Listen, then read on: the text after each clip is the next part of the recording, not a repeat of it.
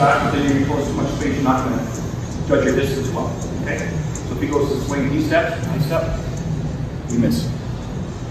Okay? So this one, technically, you have to put your body in this position and twist this way. Okay? One of the reasons for that is even if you deflect, it goes over my head. Okay? So again, twist.